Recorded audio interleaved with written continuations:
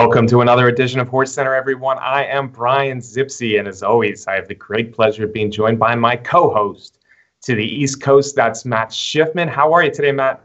I'm great, Brian. It's a it's Travers week. We're in the post Pacific Classic week, so we got a lot to talk to, about, my friend. Absolutely, Matt. This is a good time of the year. We're uh, we're closing in on Breeders' Cup, but this week that we're in the middle of here, it's big. It's big summertime racing. Uh, we are going to. This is our Travers preview show, so a lot of the show is going to be uh, uh, put to a very interesting field uh, being assembled up there in Saratoga Springs for the 1.25 million dollar Travers, Matt. But before we get to that, we need to go back to suburban San Diego. We need to go to Del Mar Racetrack for what happened in the Pacific Classic, the TVG Pacific Classic, Matt. Last week, I think we were both a little bit curious as far as what would become of Arrogate in his return race after a stinker, after a clunker in the San Diego Handicap. Neither of us were shocked at the result. The winner was Baffert, but it wasn't Arrogate.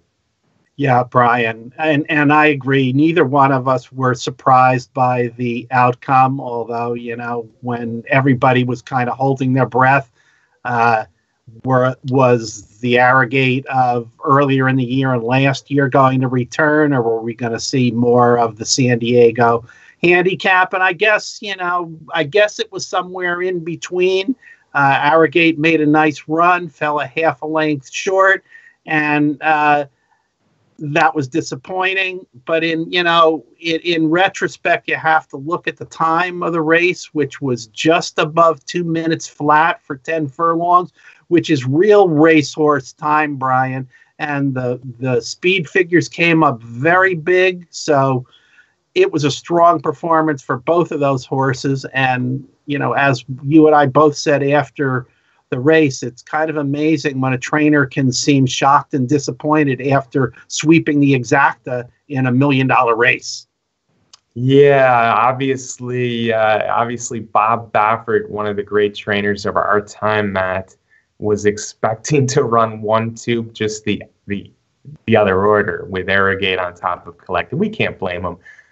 I maintain that what Arrogate did over a year's time uh, was that of a great horse, Matt. What he did in those huge, huge wins. He won seven in a row. The four big stakes races, though, he was just so impressive. A lightly raced three year old doing what he did last year. And then, of course, the Pegasus World Cup and that Dubai World Cup where he broke badly, was bothered at the start, had so much to make up and and just mowed down Gun Runner easily in the Dubai World Cup. Huge performances. Clearly, Arrogate is not quite the same in these races since then. So the question remains: uh, Is is it Del Mar? I mean. The race before the Travers, he didn't win by much, and it was kind of a late running surge that got him to the win. That was at Del Mar.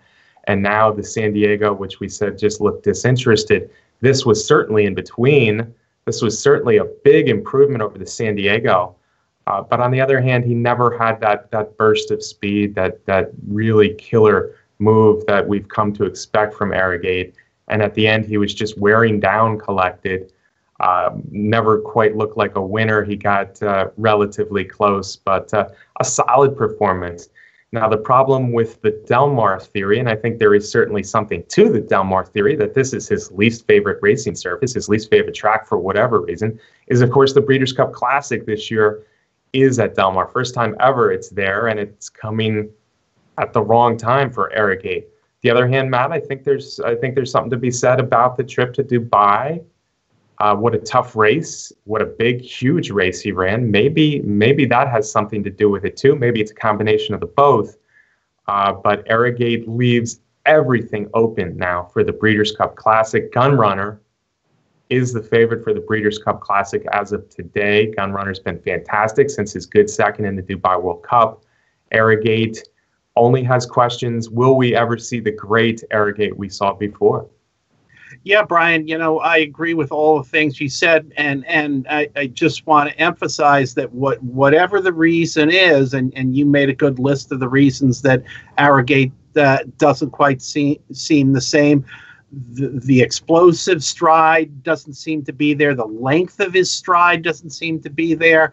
And, and I was really troubled when I saw the replays of his final uh, workout on the surface at Del Mar. He he looked like a he did not look like the the Arrogate of the past. So I guess the answer to what the reason is is going to be a big factor when it comes to the Breeders' Cup Classic because if it is the Del Mar surface alone, I, don't know if we can expect to see the uh, the Arrogate of old. But if it was some of those other things you mentioned, then then he's got time to get over those and and and get back to hundred percent.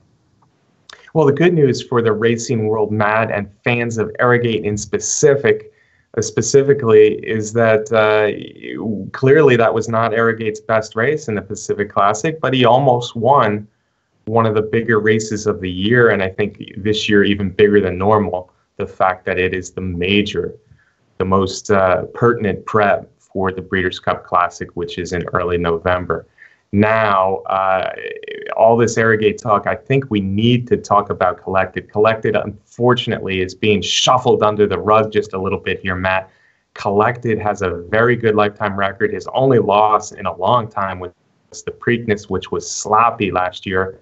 He had a long break. He's four for four this year. He's really been dominant uh, in his first three races, and then he ran a big performance. As you said, a good, uh, good, very good speed figures have come in and he looked like a winner the whole way in this Pacific Classic.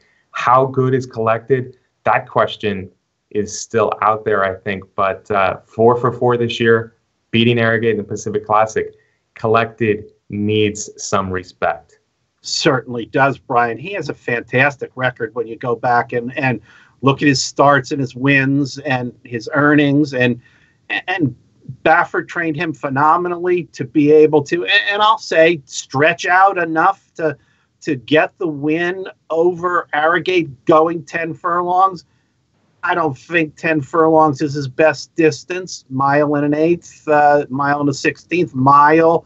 He he is is is going to be super tough. But like you said, Brian, the classic is uh, at Del Mar and it is at 10 furlongs.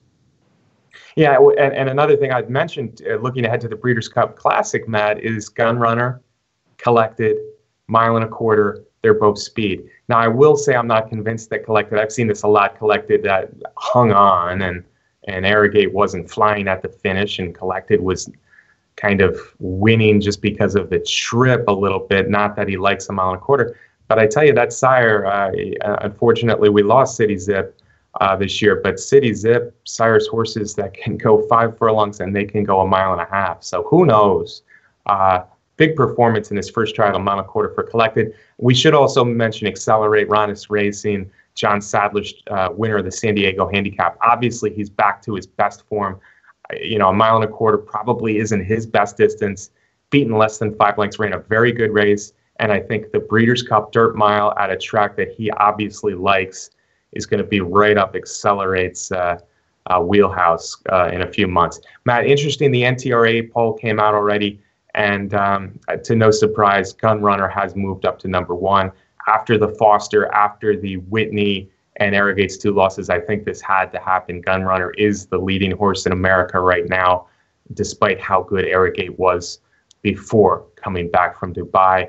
Uh, I'm also interested that Songbird is number three over Collected in number four and Stellar Wind in number five. I think there is some uh, popularity going on there or some uh, uh what has she done in her entire career because I don't know if you're looking at 2017 you could have Songbird ahead of Collected especially and also Stellar Wind yeah, Brian, you and I are both voters in the NTRA poll, and and you know, with with polls, not just in horse racing but sports polls, eh, there's always the element of what have you done lately as opposed to what you've done earlier in the year, and I think that certainly explains um, the uh, the voting of Gun Runner over Arrogate. But but you know, you're right, Brian. Uh, Songbird compared to Stellar Wind, if you compare their records you know, right now Stellar Wind does have a better record this year, and I guess probably should be um,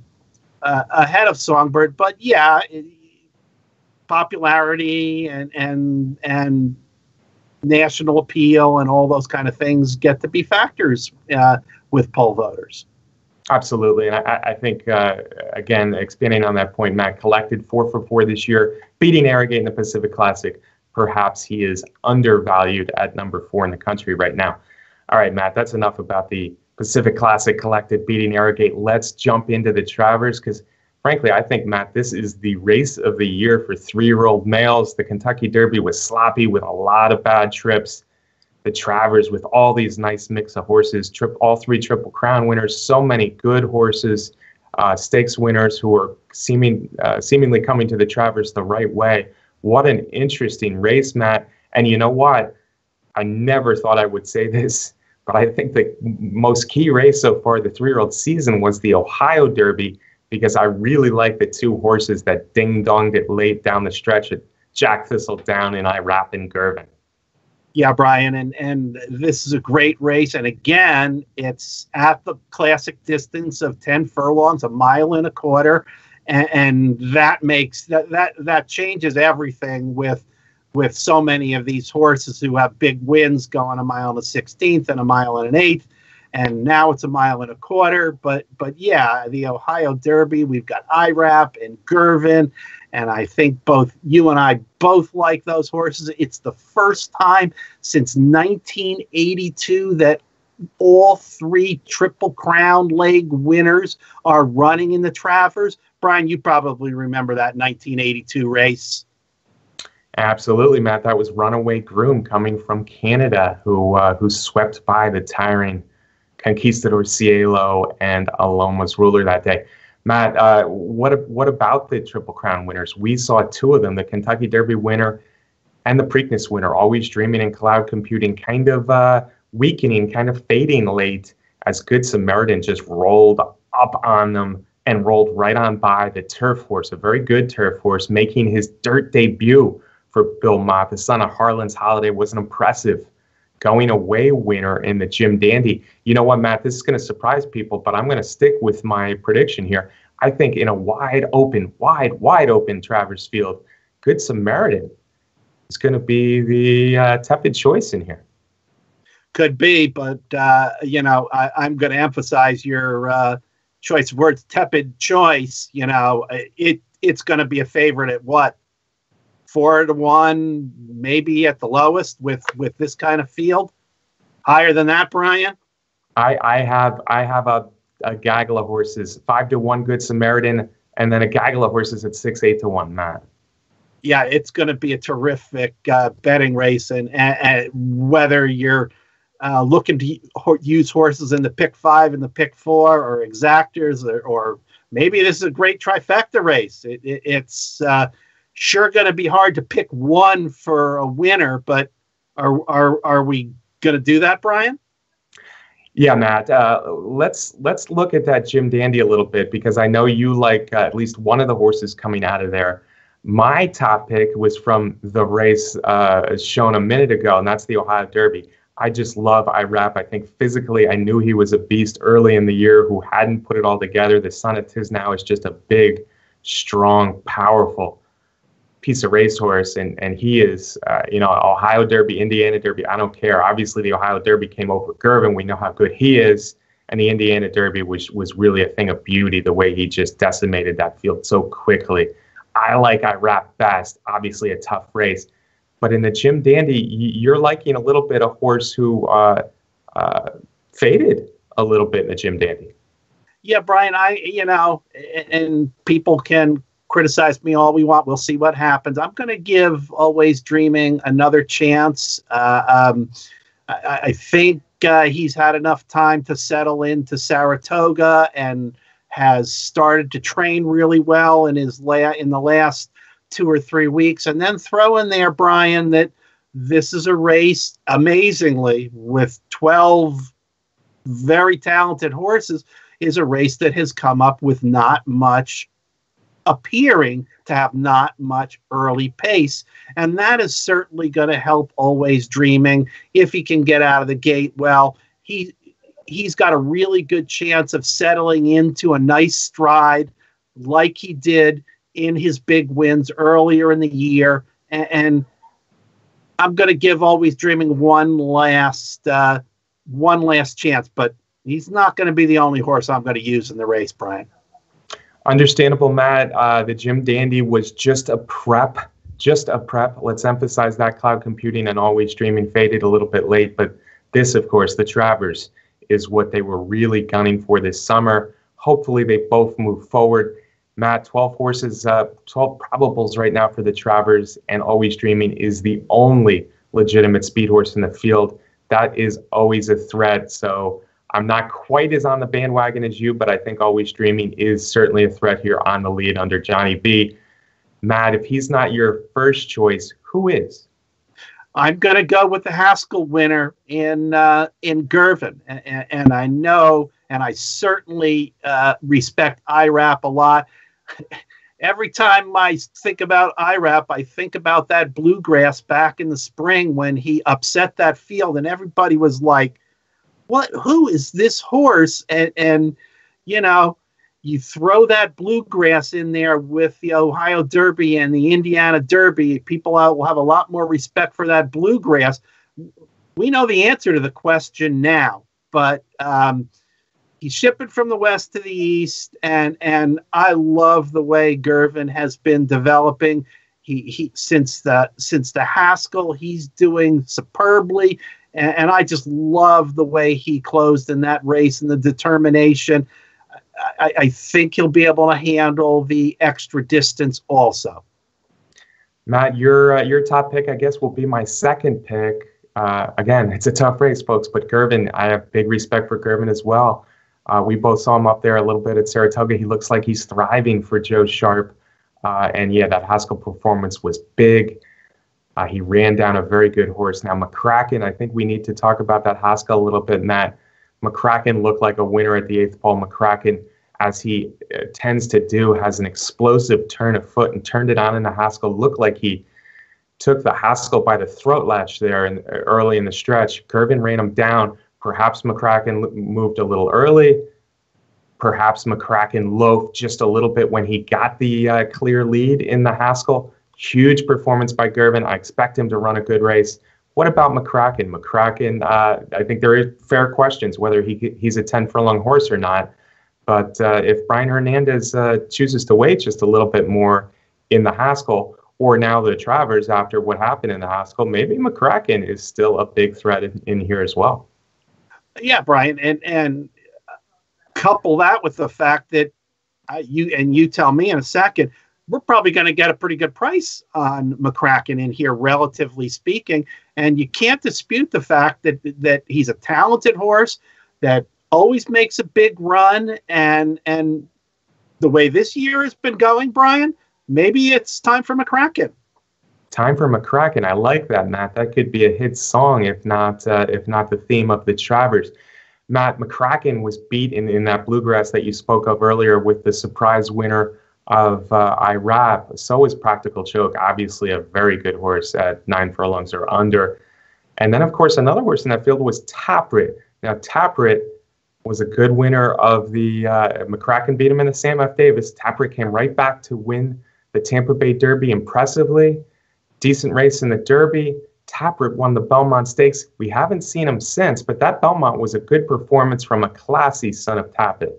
It certainly was, Brian. But you know what? It's been, by the time we get to uh, this Saturday, we'll be pushing two and a half months without a race. And uh, nobody's better at training a horse off a layoff up to a big race than Todd Pletcher. But this is not just any race, Brian. We're not training up to a grade three here with six horses in it or or an allowance with seven or eight horses. We're we're training up to a mile and a quarter, one of the best fields put together, 12 horses probably in the Travers. I don't know. That's a tall, tall task for any horse. And I'm concerned about the underlying reason why uh, Tapwrit has been training up to this. Agreed, Matt. Uh, there has been uh, some rumblings. Uh, maybe Tapwrit is not 100% or was not 100% uh, after his Belmont. We're going to see. I don't like it either. I respect Tapwrit. I think he's one win away from being a three year old champion this year. But on the other hand, straight out of the Belmont to the Travers, that might not be the best way. That might not be what they were hoping to do with Tapwrit. Here he is. Uh, he can get the distance He's consistent. He's a very good horse. I think both of, both of uh, us are a little bit off Tapwrit this time, but uh, certainly a danger. And I'll tell you another couple dangers here, Matt. Uh, Gunnevera won the Saratoga Special last year. He has an easy confidence building prep win down in Florida. And then you got the Baffert horse, West Coast. He's looked very impressive in winning the easy goer at Belmont, the Los Alamitos Derby at Los Al.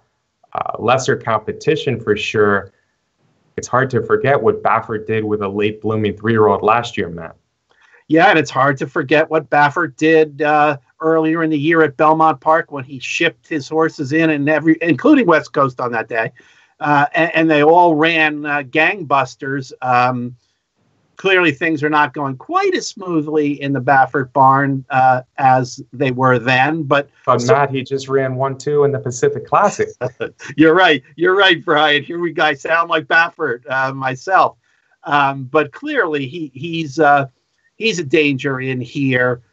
But again, uh, uh, uh, I, I, commented in on the in the comment section on your Travers preview, and I said I gave my top two, and then I gave my top two throwouts, and my top two throwouts were Tapwrit and West Coast. I just uh, the Travers is is is a, way tougher race than those two uh, than that easy goer where he ran ran by a collapsing pace, and the Los Al Derby that was kind of a soft spot. But again, all these horses that you and I are saying we don't like we won't be surprised if we see him in the winner's circle.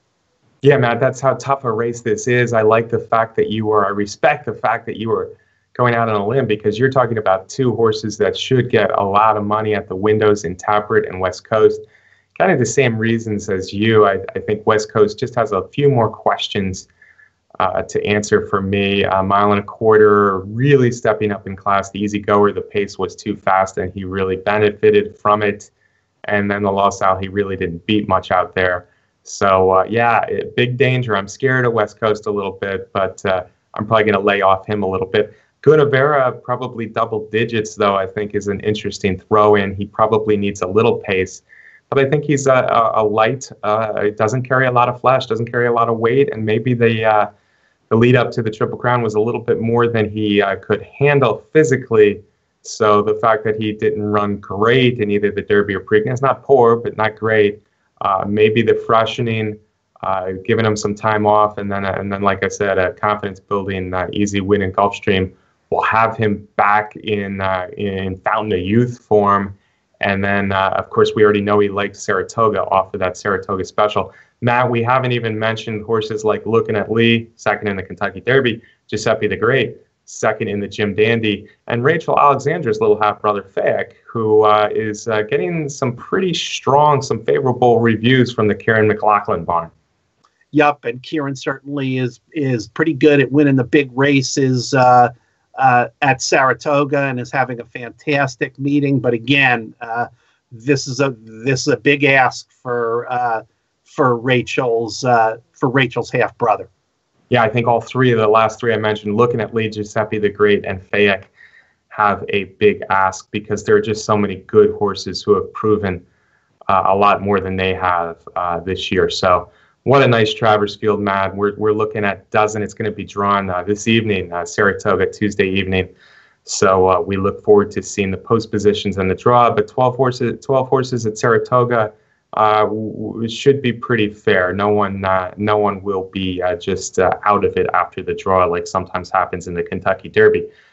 Matt, uh, last week, speaking of a mile and a quarter at Saratoga, I thought we saw a big performance. She was your top pick in the Alabama. I had her listed at second, Elate. We knew Elate had talent because we saw her debut at Aqueduct last fall. She's finally put it all together. Yep, Bill Mott's uh, Bill Mott's barn is rolling uh, and, and people should remember that for, for for a good Samaritan. But she just ran a phenomenal race. She backed up her performance when she barely lost to Abel Tasman in what people some people consider a controversial stretch drive. Um, wonderful horse, great future. It, again, the female divisions are, are are loaded. Yeah, there's a lot of good ones at the top, both older mares and then the three-year-old fillies. Abel Tasman was flattered by Elate's performance in the Alabama, uh, but uh, as narrowly as she beat Elate in, in the uh, Coaching Club American Oaks, I, I, think Abel Tasman should be worried about running into Elate again, as good as she looked on Saturday in the Alabama at Saratoga. Speaking of Saratoga, Matt and Travers Day, whew, we got uh, well, we got five other Grade One races on Saturday listed, as well as the Travers. They're all Breeders' Cup winning you're in. We're we're we're we're gonna run the gamut with seven furlong races. I love seven furlong races. You got the Ballerina. You got uh, what was formerly known as the King's Bishop, which of course now is named after Allen Jerkens, the Jerkens Memorial, and the Forego. All three of those should be fun. We got big turf racing with the Sword Dancer. What a day of racing coming Saturday at Saratoga. It sure is. I love those seven furlong sprints also, and I'm particularly looking forward to the Forego with Mind Your Biscuits. He he is Mr. Seven Furlongs, but he's going to be facing a tough field. And in the Jerkin slash uh, King's Bishop, uh, we got Cold Front coming back, and and we'll see how good that horse is. Yeah, Cold Front uh, has looked very good so far in his uh, small career, but that that Jerkens Memorial, again, formerly the King's Bishop, has always come up as a as a big field of talented horses. Some of them are mile milers, some of them are true sprinters. Just a very interesting race. Matt, before we go though, there was one more Grade One race coming on Saturday that we need to talk about, and that is the personal ensign. Songbird makes her third start of the year, the the two-time champion Songbird, and she's found a very very tough, interesting older filly to run against. They were second and third in last year's Breeders' Cup uh, distaff. We're going to see Songbird and Forever Unbridled meet for the first time in 2017. Exciting matchup, Brian. You know, we, we it, and it's it's a great matchup of running styles. Songbird likes to be out front. Forever Unbridled likes to come from off the pace, and Forever Unbridled always shows up. It's a horse who who ran a great race in the Breeders' Cup Classic last year. I kind of like the horse uh, heading out there uh, to California, and, and, maybe she won't be completely cranked up. Maybe uh, Dallas Stewart is looking towards that Breeders' Cup Classic because uh, Forever Unbridled is is pretty lightly raced, and uh, Stewart picks his spots really carefully with that horse. Yeah, last year's Breeders' Cup Distaff was, of course, a classic, Matt and uh, Forever Unbridled ran a big race. She's only had one race this year. It was very impressive. He'll have her going in this, and then the Beldame, and then the Breeders' Cup Distaff. I think the Breeders' Cup Distaff might actually, it will be a tougher field, but I think it might set up for Forever Unbridled just a little bit better because I think on Saturday in the personal ensign, we're looking at a small field, which makes Songbird and her speed even more difficult. Matt, we're going to come back next week to talk about Songbird and Forever Unbridled, all the grade one races especially the big one, the Midsummer Doozy, as I'm calling it this year. uh, so ne- next week's show is one you don't want to miss, folks. Thank you as always for watching. Please do subscribe to our uh, YouTube channel on Horse Racing Nation and follow Horse Racing Nation every day for the Travers lead up. Can I get a parting shot from you, sir? Again, Brian, I, I, love your I love your title, the the Midsummer Doozy, because it is going to be a doozy of a race. And good luck, everybody, with your betting on the uh, on the Travers and on all those stakes races at Saratoga. And as always, I want to thank our crack producer, the Iron Man, Brett Workman. Thank you to Brett. Thank you for watching. We'll see you next week on Horse Center.